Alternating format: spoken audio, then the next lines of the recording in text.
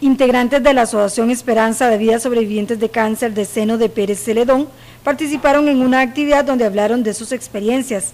El encuentro fue organizado por la psicóloga Marianela López, quien dijo que la agrupación carece actualmente de apoyo en algunas áreas, como la emocional, donde espera pronto poderles aportar.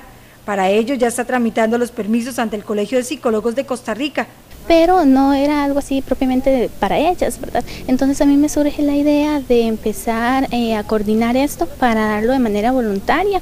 En este momento yo más que todo trabajo con ellas coordinando lo que es eh, administrativo, coordinar eventos, convivios para que ellas se den a conocer como asociación, porque bueno, para empezar ya a trabajar propiamente en el área emocional sí necesito un permiso, el colegio de psicólogos y todo, entonces ya eso está en trámite para que ya cuando si ellos lo prueban, empezar meramente en lo que es la parte psicológica y emocional con este señor. En la agrupación afirman que este tipo de actividades les permite tener un mayor acercamiento.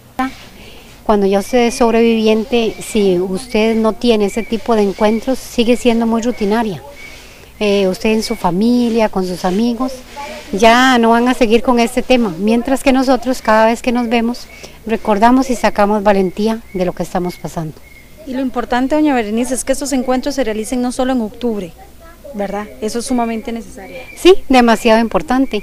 Y repito, le agradezco a esas que han trabajado por nosotros, esas muchachas, porque nos sentimos que somos formar parte de algo, de alguien y que nos ayudan y nos cooperan.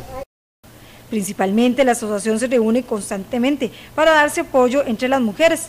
Nos reunimos en el complejo, ahí doña Flor, la del complejo, ya tiene los, los días de reunión, porque ya tenemos un calendario establecido de las reuniones, son los viernes como primeros, terceros viernes, porque tenemos un, ¿sí?